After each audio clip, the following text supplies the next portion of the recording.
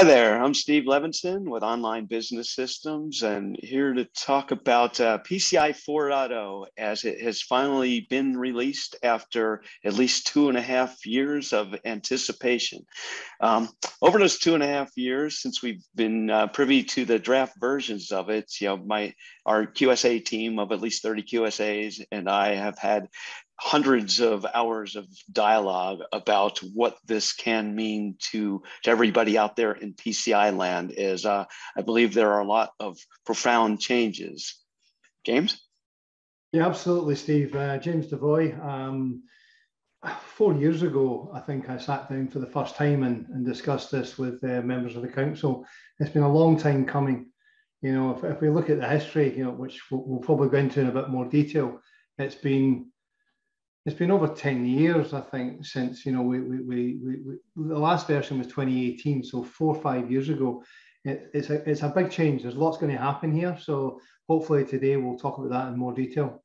And I think the PCI standard over the last 15 ish years has really evolved in a good way. Um, it's one of the few standards that has, for the most part, kept up with the times and also is detailed enough to really align with any sort of uh, security program. Um, you know, what we have often told our clients is that, um, you know, PCI compliancy is the happy byproduct of a robust security program. And we'll see thematically in this version of the standard that there's going to be more and more things that touch on business as usual security, which is good. It means it will no longer be so tied up into a snapshot in time, but more along making sure that holistically speaking, that you know folks are PCI compliant every day. If we just if we just go by the history of, of, of PCI, if you look back to, to where we've came from over those years, that this one is, is a real fundamental change. There's a lot going to happen here. Um, you think about what's happened in that preceding timescale. You know, lots of people have moved to the cloud now. You know, we, are moving all of our applications and all of our data out of, out of data centers. You know, the whole thing around segmentation is changing a lot. There's just so much happened. Then we then we get hit by a pandemic on top of that. You know, the the the world's a different place than it was four years ago when 3.2x was out. So I, I think there's going to be some some big differences and big challenges to many organizations that that we'll need to, to, to work our way along that road to get there.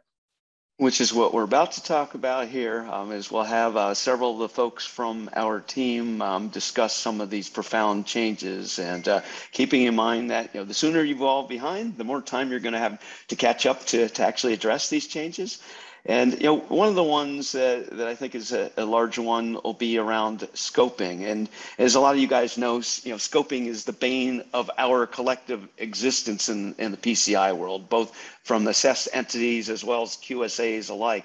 It, it, it always takes so much effort to just get scoping down to, to being accurate. And, and also along those lines, and some of the changes will talk to um, making sure that you update your scoping on an ongoing basis. It doesn't become a, just a, a once a year type of exercise. So uh, Jeff Mann, we'll hand this to you to talk with uh, the rest of the folks from our team to start talking about some of these profound changes that are coming down the pipe. Thanks, Steve, uh, for the brief introduction. Uh, Jeff Mann, Senior Security Consultant here at Online. Um, and full disclosure, uh, a lot of us have worked together for, gosh, going on 15 years now. Uh, you know, we've had different uh, uh, signs in front of our storefront over the years, but a lot of us have been in, in doing this for a very long time.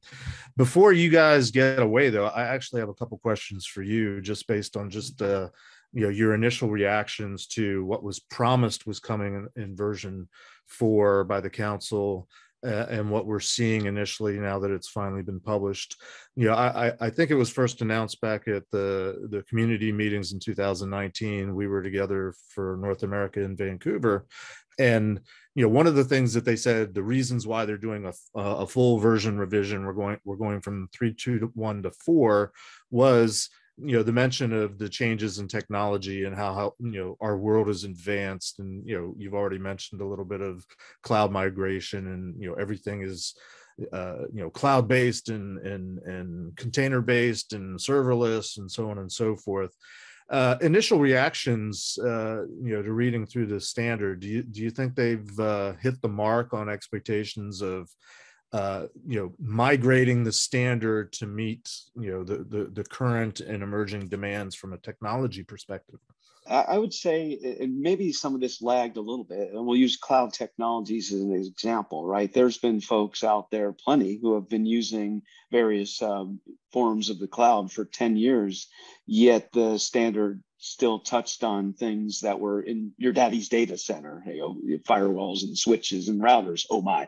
So I think mm-hmm. with this version of the standard, it's at least catching things up to where existing technologies are. So I think in that sense, it's been a step in a good direction. Anything to add, James?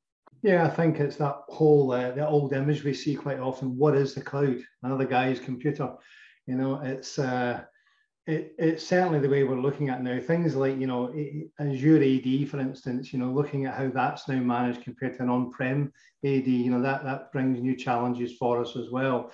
Um, looking at the, the, the, whole service provision now, more and more companies are outsourcing, you know, huge parts of their, their network. So the whole service provider provision is going to be, in my opinion, much more relevant now than it used to be. I think a lot of our clients are now outsourcing every aspect of their of their environment. You know, we've got all these new things like DevSecOps, and you talked about containerized, you know, uh, programming. Uh, there, there's just an awful lot of things have changed, and I think it's about time. You know, although although 2018 was the last version, it was really only an iterative approach even then. You know, we haven't had a major fundamental change like this since the beginning. So I, I think it looks promising. You know, the, the, the proof will be in the pudding, basically. The proof will be there when we start using it and we actually are able to take it into a live environment. Um, I kind of expect a 4.x, you know, sometime in the near future. But I think that I think the version four is probably be here for another 10 years. I think it's I think it's I think it's that good, you know, in a lot of ways that we'll keep it for a while just with some small iterative changes one of the main reasons we wanted to get together today and talk to some of our uh, more senior folks at our practice is to really walk through at a high level what we think are the biggest most significant changes to the pci standard in version 4.0 things that are going to impact us as assessors but more importantly things that are going to impact our, our clients uh, um, and we want to we sort of talked collectively uh, in the months and years leading up to the release and, and came up with what we thought, uh, you know, based on all of our collective experiences, what are sort of our top 10 list. In no particular order, we want to just introduce those to you very quickly. The, the, the heart of it is 12 major requirements that are split up into hundreds of sub requirements and testing procedures. Uh, and there's introductory material that we sort of collectively call the preamble uh, and we noticed this uh, with version four, the preamble, and somebody joked in our practice that before you get to the 12 requirements, there's now 14 sections in the preamble.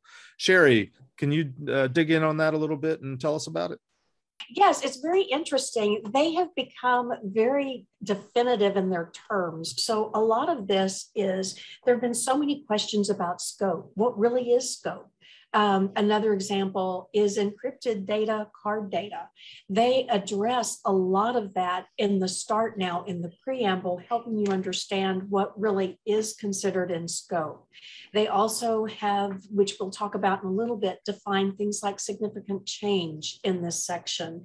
So they've they've put in a lot of things to help us just kind of to give us a rule book to follow and uh, helping us understand another big one in there is talking about how PADSS and the new secure software framework are working together. So it gives you a lot of very interesting information at the top of it. So it'll be, it's, it's just a lot of very valuable information for us to use. Yeah, it's interesting. My observation is that um, you know if, if you were to categorize what changes you know in any version change there's always uh, retiring old requirements there's certainly new requirements and there's usually always a grace period before uh, entities merchant service providers have to actually adhere to them uh, and there's also what's become a fairly significant category is what I would call the clarifications. And I think that's reflected in there's so much now more content uh, within uh, the preamble to the PCI data security standard. In my review on some of the specific topics, I've noted that uh, in some cases, they've simply taken language that they already have in existing FAQs up on the website and merely pulled it into the document. And I'm sure we all have uh, war stories about uh, you know art, you know creative discussions with clients over whether a requirement applies or how to interpret a particular requirement. And they've said something to the effect of, "Show me in the standard where it says I have to do that." Um, it seems like more and more, if this is a theme, the council has put everything they can think of, packed it into the standard uh, to try to give us as the QSAs a place to point to you know they've they've added there's now seven appendices to the standard. And one of the things that they've done is they've actually included the glossary now. I guess because of so many concerns about what certain terms meant they're now actually making that a part of your standard which is which is very new. So uh, and also changing appendix a to be about share instead of shared hosting providers now being multi-tenant etc so there are some interesting things that are now provided in the appendices as well they're you know they're putting a whole lot more of the clarification detail in the PSS in the DSS itself rather than yeah. having all these extraneous places. Uh, you mentioned in the appendices, uh, especially in the new appendices, there's now this this concept or this idea, which was advertised really back in 2019 at the community meeting as a big change, and that's this idea of a customized approach. Mark, can you briefly uh, you know, just tell us w- what is a customized approach and how does that differ from the existing compensating controls? So compensating controls is, is, as we've all known and loved over the years, is where an entity has a legitimate business or technical constraint and cannot implement the controls as, as tightly prescribed within the DSS. Um, the and that isn't changing. So again, that that is still going to continue on, and companies can still document compensating controls uh, for those particular areas. The customized approach, though, is is really intended for entities that are implementing innovative type of approaches to addressing a particular requirement and it doesn't fit that round peg in the square hole i like to say uh, in mm-hmm. terms of this particular uh, and let's use antivirus as an example because or anti-malware because it, it's it's one that we really have seen over the years that where this would fit perfectly is is a lot of the new um, heuristic based or you know uh, anti-malware type of platforms that are not signature based uh, mm-hmm. don't really fit into the testing procedures for 5 dot you know whatever requirement it was. Let's say periodic scanning. doesn't matter because the numbers have changed anyway yeah, exactly. Periodic scanning signature updates you know those types of things uh, it, it really the only way we could document in the past was really a compensating control which just touched on the surface of some of the aspects of how it was meeting intent so customized approach is really going to cause uh, a, a, few things to happen. The entity needs to really do that detailed risk analysis of what's the risk associated with not having the original control, as well as what is this technology that we're implementing to address what it's trying to accomplish? Is this meeting intent here? And then, you know, the the other side of the customized approach is just that the the testing of it is going to need to be designated and determined by the QSA company. So the QSA and the entity both have a lot more work on their plate to uh, do a customized approach. It, it is going to be available for, for just about every requirement in the standard. Um, but we uh, are imagining that, you know, it, it really will be applied lightly, I would think, to start for most companies. Another change that's coming in version four of the standard, which seems a little bit uh, of a uh, an attempt by the council to try to get companies away from sort of the checkbox mentality uh, is that they've pulled out what used to be just a, a, requirement that showed up mostly in requirement 12, and that has to do with roles and responsibilities. So now at the beginning of each of the first 11 requirements, there's a it's verbatim in each requirement. The numbers change per requirement, but a statement that says roles and responsibilities for performing activities in requirement X are documented, assigned, and understood. Uh, Mark, you have some thoughts on this one?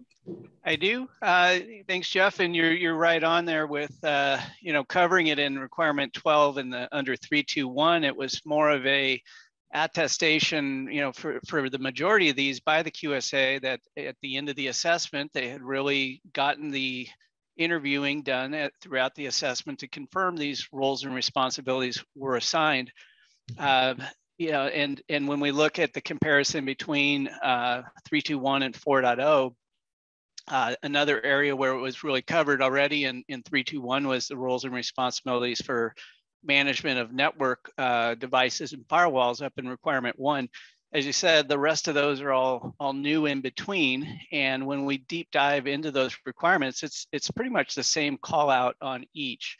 Um, but I, I, did think it was interesting that uh, of the 68 new requirements in the 4.0, uh, there was the majority of those are, are, are not going to be required until that March uh, 2025 timeframe of the 13 that are effective immediately, 10 of those are for these roles and responsibilities. So it, it's it's definitely something that uh, the council and I think in general, as as we look at it too, we think that this is something that's pretty tackleable for most companies. Although larger companies, this could be a significant uh, impact, at least to get it off the ground and document it if they haven't done a good job of it so far. Um, but as as we look down through those, um, you know, another interesting uh, side note is that it's going to be your 1.1.2 uh, and 2.1.2 all the way down through the standard through 11. And every everywhere we see that, it's going to be roles and responsibilities requirements. Yeah, I really think it's interesting that uh, it's one of those types of requirements that come with a new release. That it's like, okay, they put it in this, you know, revision. It was important enough to add. It's because they must have thought, or that organizations weren't meeting the spirit of whatever the pre-existing requirements were, and certainly with, uh, you know, the fact that there's so many processes and procedures that are supposed to be in place uh, you would think that people would know that they're supposed to do them.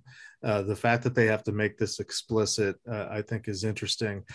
I wonder, and, and, and Jordan, I don't know if you have any thoughts or comments on this. I wonder what the impact of so many companies that try to automate as much as possible mm. uh, all the things, uh, how they're how they're going to react to the to, to this this new requirement that's effective immediately.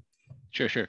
Yeah, that that's a great question, Jeff. And I think you know, there's kind of two layers to it. And the first is for tooling automation in terms of implemented controls and that kind of stuff, it's probably not going to impact what they're doing too much beyond some descriptive kind of stuff because these designing roles and responsibilities doesn't isn't necessarily something you gather automated evidence for, right? But for those folks that rely on automation for compliance management, their GRC systems, as we touched on um, uh, earlier, um, those systems that, that rely on linking you know individual requirement numbers to who's responsible for evidence and that kind of stuff all those are going to have to get updated and changed now because because these new requirements are different and you have that that definite role and responsibility assignment. And in fact it's not just that role and responsibility change that's going to affect that. In addition to you know like you said with with getting away from checkbox auditing in addition to moving or, or creating that new second requirement in in each of the main requirements for assigning roles and responsibilities they also moved the established documentation for policy procedures needed to implement the controls in each requirement. They moved that from the last of each requirement up to the very beginning. That's the number one that's in front of these new number twos. So right away, you have an assumption or the expression that every company out there, every organization that's establishing or, or, or maintaining PCI compliance has to start from a program management approach. Have your documentation on your policies requiring everything, have your procedures for doing them, assign responsibility for carrying that stuff out to somebody, and then start looking at the controls themselves. Right.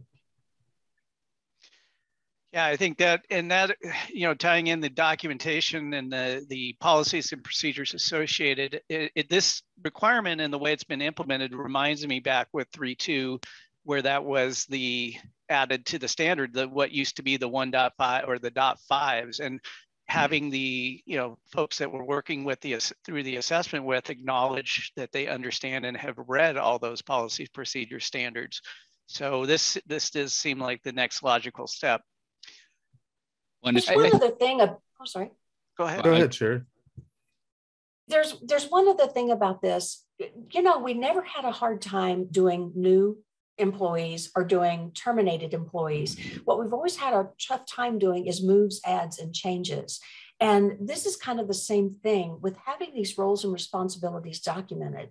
It actually gives an organization uh, kind of the key that you've got to do these things. And it doesn't matter if Sam doing this role is now reporting to a different person, a different team, or whether a new manager comes in. It's it is in writing that those functions must be performed regardless. And I think that that might help with some of the uh, the changes that we've seen where employees end up moving to different departments or new management comes in or somebody gets moved and, and things fall on the floor. I'm hopeful that this will help with that challenge challenge. Yeah, and, and as, as we sit back and look at how can companies implement this, it's really going to depend on the complexity and the size. And, one of the common questions that we're already getting is, uh, does it need to be the names of the people that are performing these roles in whatever documentation? And it's just, you know, our, our standard answer for that is it's it's going to be better to list roles um, or teams and roles and groups as opposed to specific individuals and when we look at larger entities, uh, uh, I think really that RACI type of matrix is, is most likely going to be the way that they can get there. Although it could be, you know, there's all kinds of different ways to do this, but uh, some type of, you know, uh, matrix of who's responsible, what is their role, have they been, you know, have they acknowledged it, um, and do they understand what what what it is that falls under that uh, category. Yeah, and in, and in fact, Mark, I, I, would also say that that need to create that RACI style matrix of responsibility, accountability. Um, I forgot what the C stands for, and and consulted, uh, consulted and informed. Right, right. who needs to who needs to know and have input into, into the processes. Um, you mentioned before that that this might be a bigger impact at large companies because a lot of smaller companies, you know, at the end of the day, their their security compliance may fall to a single individual. But I think the need to document that responsibilities will help some of those folks in those smaller organizations identify that they can't own everything and this is how they can document who needs to own those things that that isn't doesn't fall within their their you know ability or, or, realm of management you know there are you know in retail spaces for example there's front end managers that deal with you know the cashiers at the cash registers and stuff and and they're going to be responsible for implementation of some of those processes now that's that's a well-known thing in the PCI space for anybody that's got you know point of interaction devices to inspect. But it's just an example of the fact that even in those organizations, it can't fall on one guy's shoulders or one person's shoulders. And this is one of the ways that that those compliance folks and those security folks can help get other people to you know help her out with getting things done. That's yeah, a really good point, Jordan. Sorry. I think my take on this is, and looking at the the whole history of the the data security standard, uh, you know, going back all the way to version one, it, I think it was understood, or at least I understood as a QSA, that uh, you know there's responsibility in an organization to do all the security things that PCI is looking for you to do. In version two, uh, it was tacked on at the end of uh, 12. I think it was there in version one and two. You know, one of the requirements buried in in requirement 12 was you know make sure all this is written down and there's roles and responsibilities assigned version 3 comes along and they push this to the last requirement in in 1 through 11 you know telling me okay people weren't getting it they weren't really following that one requirement and then this is the ultimate they're splitting it out uh, separately uh, and, and and and also pushing it up front to me it's almost the it seems like it's a, almost like a last ditch effort to try to uh, preserve what was the original intent of the whole PCI compliance experience, where you have the, the QSA as the security expert that's advising and consulting and trying to provide subjective, if you will, interpretation of how well you're meeting the requirements. And you know an argument could be made that uh, you know where this used to be just you know more or less in one spot in requirement 12 uh, it should either be a non-issue that it's broken out and separated into the 11 requirements that all these things are assigned and understood uh, and if it's not it kind of tells you that you really weren't doing this the right way previously. So it's, I can almost see this as a catch 22 for organizations. If they balk about it, they're kind of sh- showing their hand uh, that they really weren't doing it. Uh, I think correctly in the first place. Yeah, and uh, you know when we look at this, it, as you as you mentioned, is it was really that they did understand their roles and responsibilities, but they may not have necessarily been documented in detail and that is what this this is filling in that that blank for. And yep. uh, some you know the documentation sometimes we think of that as uh, you know that's what's the big deal? It's just creating another document but it, it can be a lot of work for some companies out there. Uh, they're going to be wanting to get a head start on this so that it's ready to go day one of their 4.0 assessment.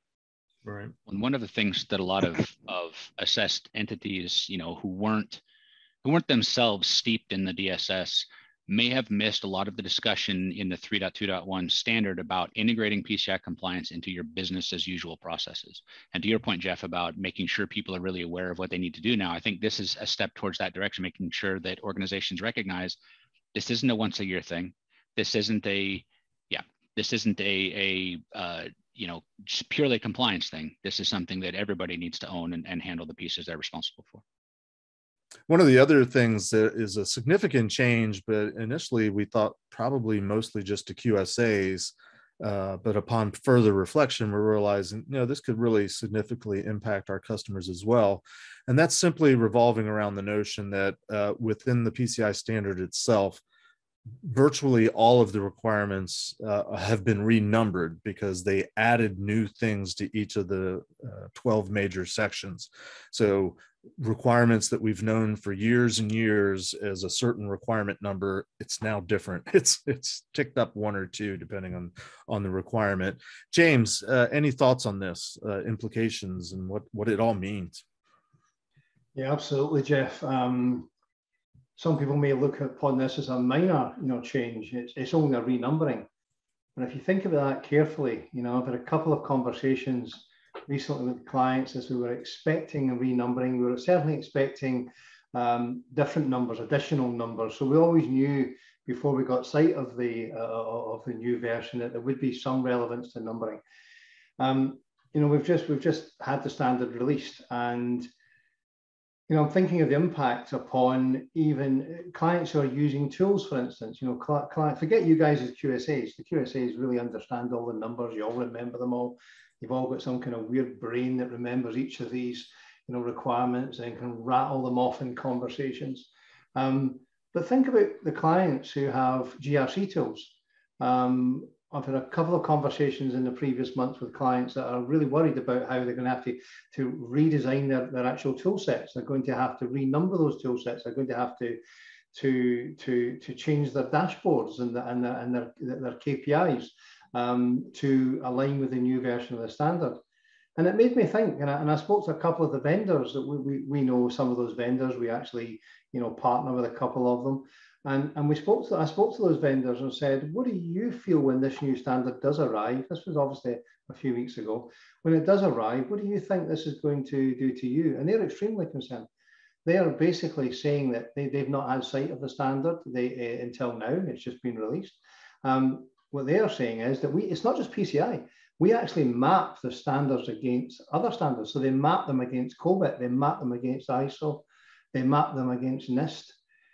You know, that's a big job. That's a big job redesigning all those mappings again. Um, and then they talk to me about the data sets behind the scene. You know, the data sets are going to be sitting there and they'll have to be moved. The, the data is going to have to be lifted and shifted, possibly in some cases. Um, so there's a bunch of stuff going on in the background there. I think there will be you know, a, a cost to organizations to retool or to, you know, to bring consultants back in to redesign some of these, these tool sets.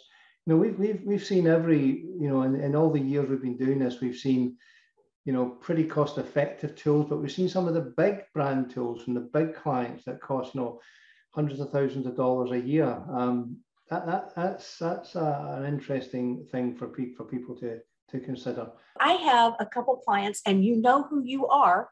I know you know who you are. It's not just our QSAs that have warped brains that remember those numbers. I actually have a few clients who can sit there and say, yeah, well, you remember that in, in requirement 8.3.1. So we it's not just us, it's actually some of our clients too that have been doing this for so long. So their brain damage is also going to have to be fixed to uh, come into alignment with V4O.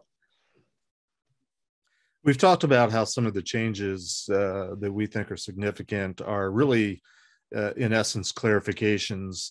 And uh, I, I want to say briefly, and I think all of us would agree, when we say the significant change, we don't always necessarily mean it's a change for the bad. You know, hopefully the council intended all these changes for the good. And certainly clarifications are meant to just help make the whole process easier by sort of removing the opportunities for doubt or removing the the wiggle room that a lot of us QSAs are very often frustrated by. Um, one of those changes has to do with changing the way uh, certain requirements talk about uh, the time periods. Greg Crafts, uh, part of our EMEA practice, principal consultant. Greg, what are your thoughts on uh, on some of these changes in terms of time periods? Thanks very much, Jeff. Yeah, so uh, in terms of, of, of timelines, uh, it seems the council has, has bedded down on the principle of establishing clarification for exactly all of the various timelines that are involved throughout the standard. Uh, some of the verbiage in the preamble, which is quite uh, quite pertinent, is, is that they want people to be as close to those timelines without exceeding them. So that kind of clarification has been given specifically in relation to guidance to things like when when testing should be performed all of those cadences that are involved in your business as usual process now mm-hmm. fall under a very specific set of guidance so the daily the weekly the monthly all of those are, are very specifically called out in the amount of days that they should be or the nth day of the month so that clarification has given us that ability to now you know, put put an end to to to some of those slippages in, in that, and when there's some misinterpretation of those standards, where people kind of, you know, you know, a month could be any time of the month and any time of the next month, and there's a big pause in between. It's trying to avoid those those instances where we have a we have a gap in that that ongoing business as usual process that's that's been pushed so hard. Uh, you know, there's a very good call out on some of the specific requirements within those those timelines that that get a bit of a better definition. Significant changes being incorporated into a time frame element within the within the standard. So there's a, a bit of guidance that's coming a bit later on that. Um, you know, promptly has that been defined now. So the, the definition of promptly is as soon as is reasonably possible. Uh, the, the principle of periodic has also changed, and we're going to discuss that a little bit further as well because it, it, it relates to, to some additional uh, elements that will be need to be taken care of when you encompass a periodic uh, check of a, of a control. Uh, so those elements are definitely uh, being clarified and they're definitely being given some some attention so that we, we don't uh, slip on any of those requirements.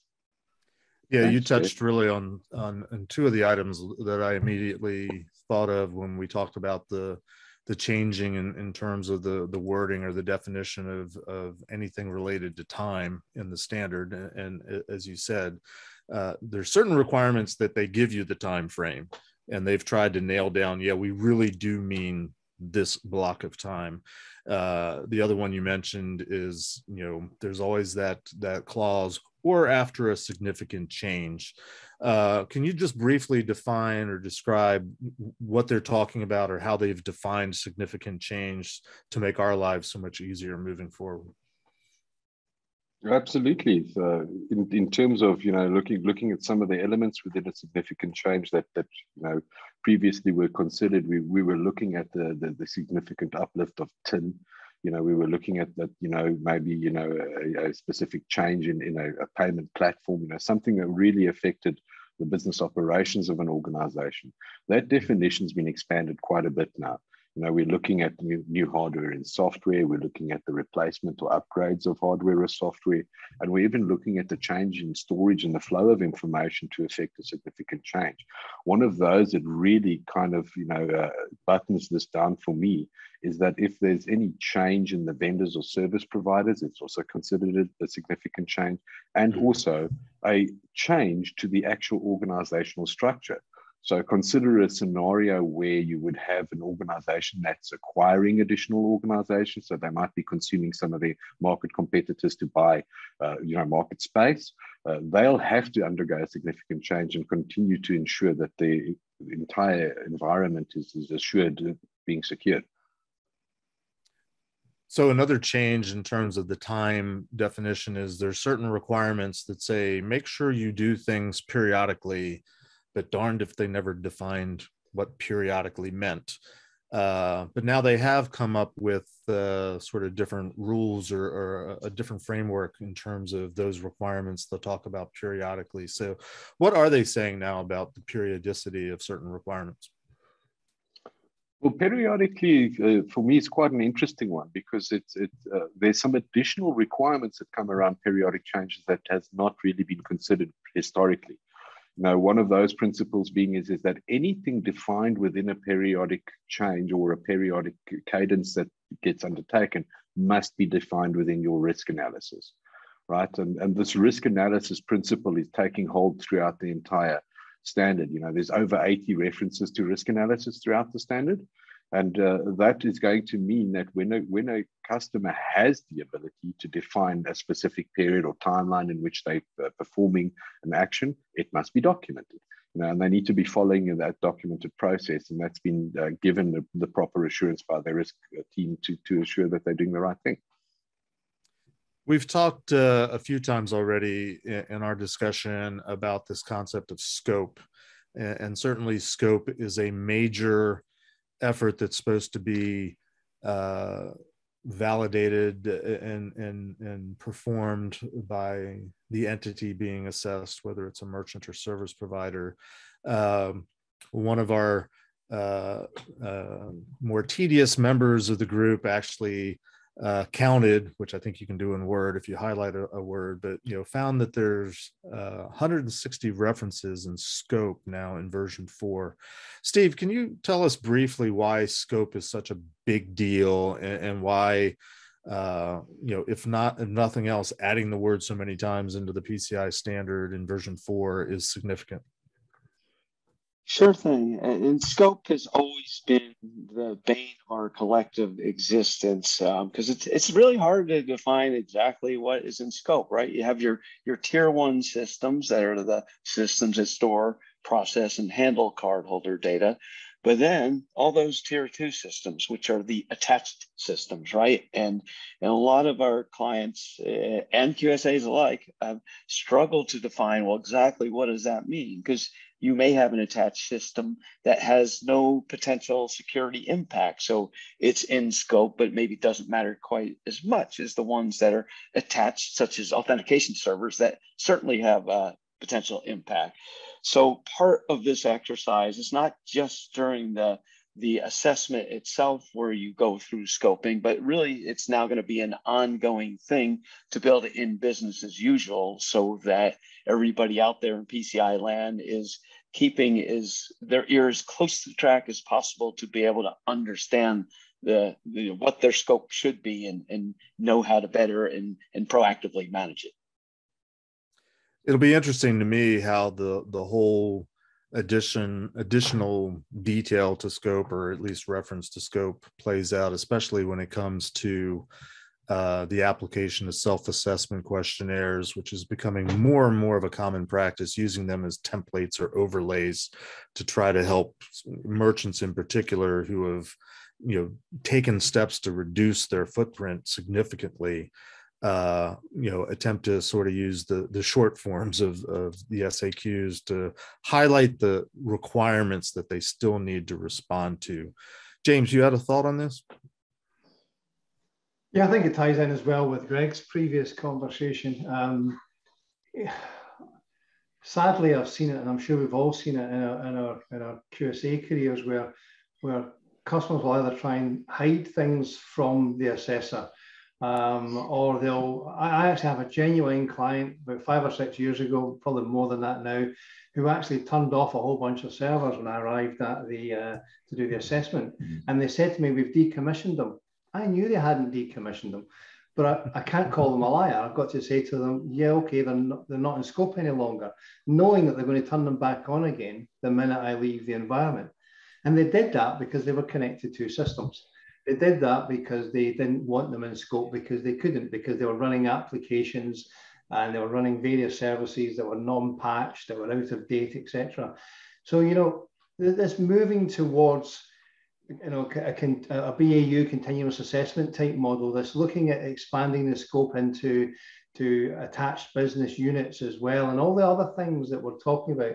I think the, the, the council has has really tried to address some of those issues that we saw uh, over the past decade or so. As someone that's been in the information security business for 40 years now, and I've been doing PCI related work for almost 20 years, uh, my gravest concern is the way scope has become. Uh, as Steve mentioned, it's been always been the bane of our existence, but it, it's it now seems to be more all we talk about. And and I personally am frustrated that so many clients all they want to do is talk about scope reduction rather than what to me is practicing the basic security best practices that are really what is the essence of the PCI data security standard. Uh, I, I, would go so far as to say that scope production activities, that's not a security discussion. Uh, but you know, take that for what it is. Uh, one of the other changes that has uh, shown up in, in PCI version 4 that we think is interesting, if not significant, is and I think it again falls into the category of clarification. And that's the notion that there's now, and we didn't even notice it at first, but you know, we spotted it when this thing first dropped. There's now a, a subtle change or an additional term that we need to get used to, and that is the the, the rule of thumb has always been you know, going back to the scope discussion is there cardholder data involved? Is there primary account number data involved? There's now a new term that's called account data. Um, Jordan Wiseman, uh, fellow consultant at Online Business Systems, can you talk to us briefly about what this new term is all about and what you think they're trying to accomplish and, and why we think it's perhaps a significant change? Um, so one of the reasons that we didn't notice this at first is that the standard has always defined account data as you know there's a table in the in the in the old version of the standard that talked about account data and it has two columns cardholder data that's chd um, which is the account number itself cardholder's name the expiration date and the service code which is something embedded usually in in kind of details you don't see on the card itself. Um, and then they define sensitive authentication data separately as full track data so everything in the magnetic stripe um, the card verification codes, that three digit code you get asked for on the back, and then PIN numbers and, and how PIN numbers are, are, are transmitted. Um, but most of the, the actual requirements in the standard either referenced CHD only or said CHD or sensitive authentication data. And there were a handful of requirements that just applied to that, that sensitive authentication data itself. And so that led to a lot of confusion around, does this requirement apply to cardholder data? Does this requirement apply to just sensitive authentication data? Um, does is sensitive authentication data itself actually also cardholder data? You know, a classic example of this is in what used to be um, well, in requirement three, where there was talking about the fact that if you store cardholder data, you have to encrypt it. Well, part of the problem with that requirement is that it reply is that it applied to cardholder data. So that led to actual legitimate questions around does this also apply to sensitive authentication data if you in fact have a legitimate need to store that other than you know like card issuers and that kind of stuff? So now the council has actually kind of gone back to hey we've defined this separately before but they've gone through the standard to update most of the requirements to clarify when they talk about what this control should apply to it applies to account data. So that means both cardholder data and sensitive authentication data and they've done that many times. I mean, the references to account data, you know, just going back to like counting occurrences in the standard in in in 321, you know, in, in the old days, it, the phrase account data was used maybe a handful of times. In the new one, where they've updated all its requirements, it's there over a hundred times now. The other place besides requirement three and all the places with throughout the body of the ROC where it talks about you know, what do you do if it's account data? We got to encrypt it or whatnot. But the other side of that discussion is around the scoping.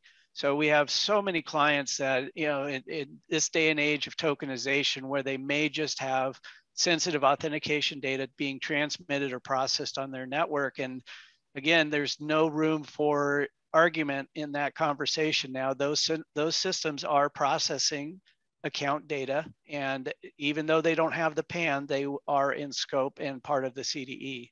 So yep. just another, another point to keep in mind account data is really what we need to relearn as QSAs, I think, and and and of course our, our clients will learn this over time. It, it's it's really the litmus test is yep. account data, and it's meant to be inclusive.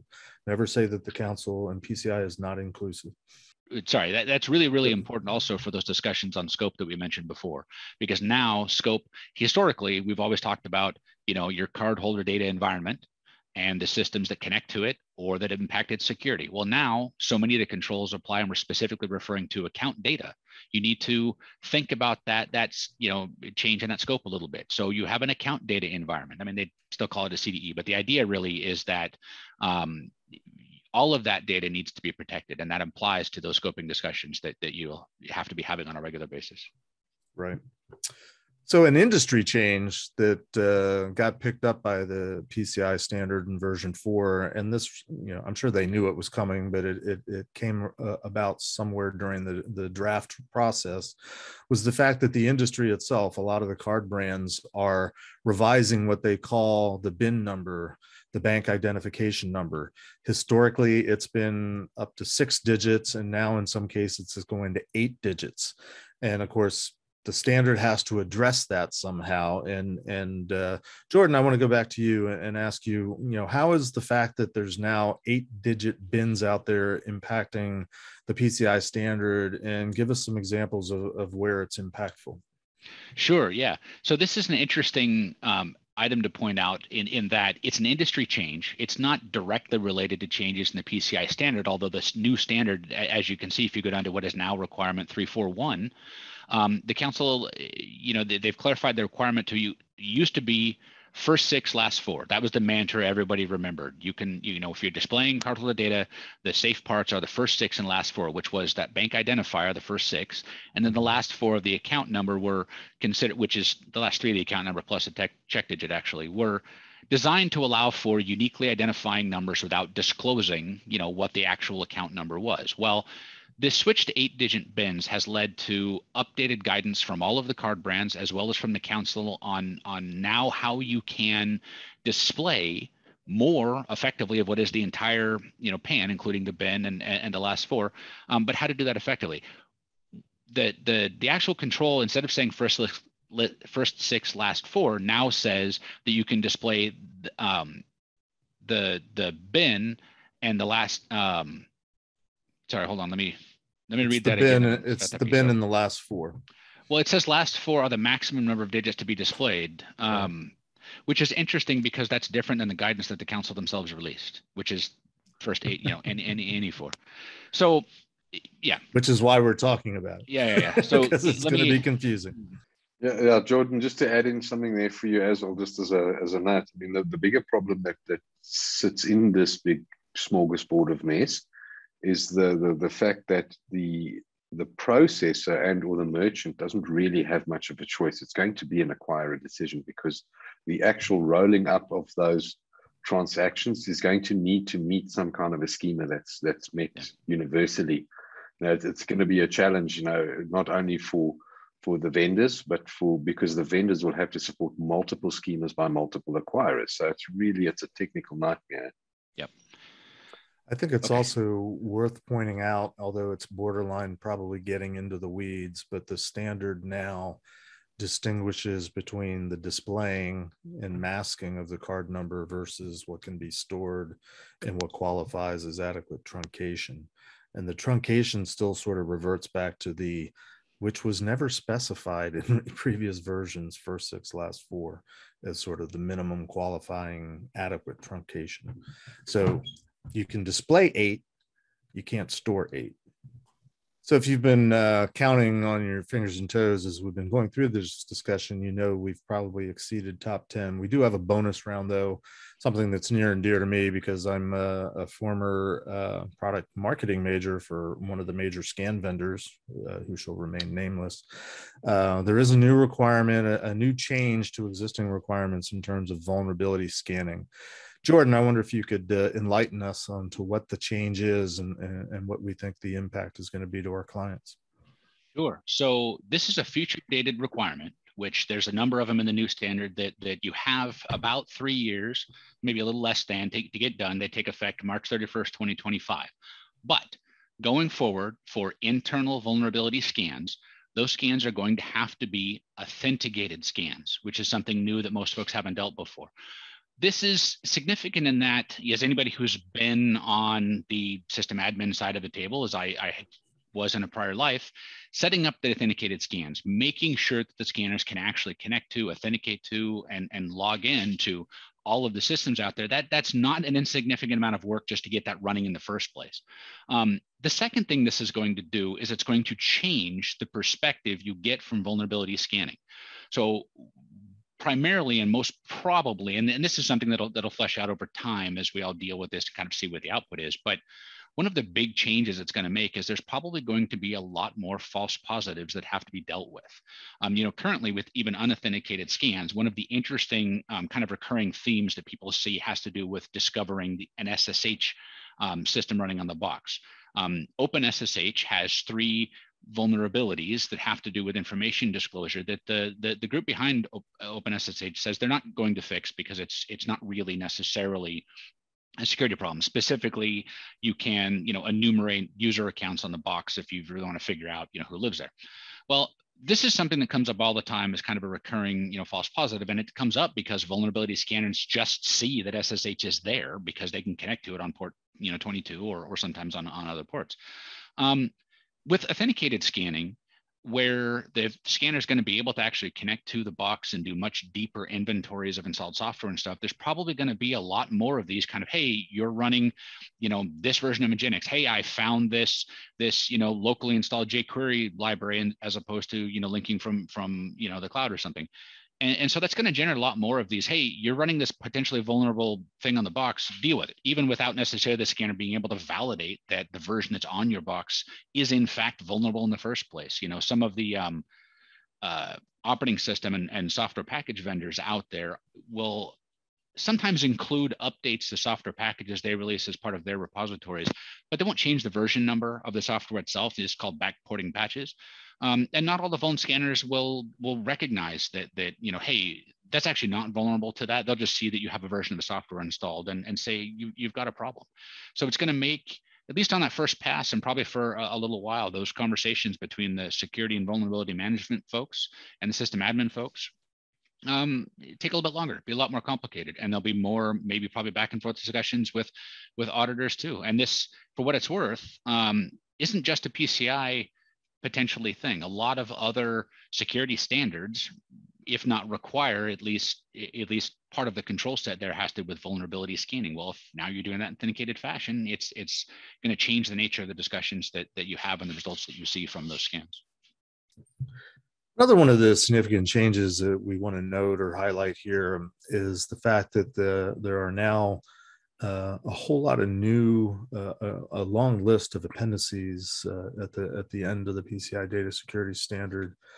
Mark Hanna, principal consultant at Online, uh, can you give us a little bit of a, a, primer on what to expect in these new, all, the whole set of appendices, and and why why we think it's significant?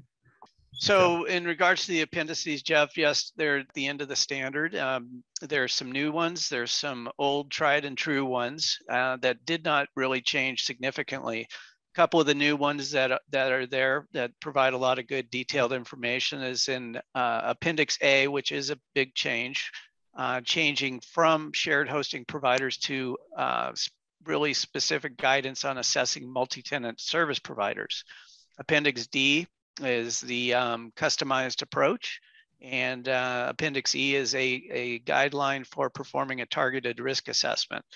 Um, Appendix F, also new, um, which is uh, support and leveraging the PCI software security framework. Uh, and then one that we all felt was really nice to include as part of the standard is the glossary. It's no longer a separate uh, separate document. It's it's Appendix G for glossary right down there in the standard. Yeah, I think if the council is going to get uh, gold stars for anything, it's that they they've uh, succeeded at putting everything as much as possible in one document. Of course, it makes it a very large document, but uh, you know, no longer hopefully can entities uh, claim, "Well, we didn't know that, we didn't realize that," because it's kind of all there in front of you. So I want to thank everybody, uh, all of my colleagues that have participated in this discussion today. We really intended this to just be a, a kind of a, a first pass initial reaction, uh, you know, because our collective brain trust has been looking at this for so long, and, and we've been eager to talk about it for two years. Um, we are planning as, as a practice to release more information in, in, the weeks and months to come. So stay tuned on our, our website and our blog site. We're going to do some drill downs on a lot of the topics we've talked about today and, and probably have a few more that we haven't talked about. Things that didn't make necessarily the top 10 list, but things that we still think are impactful and, and are going to take some time to sort out. Of course, there is that caveat that most of these things that are new and change, there's a grace period. Some are shorter than others. Um, and and one thing we didn't touch on but you know there are new service provider only requirements as well as the existing ones and there's some short time suspense uh, buy-in grace periods for those as well. So stay tuned. Uh, we hope we, you have found this to be informative and helpful. If it sparked questions if you want to talk about it more of course feel free to reach out to our practice or any one of us individually. We're we're as you can see we're more than happy to talk about these things. Thanks a lot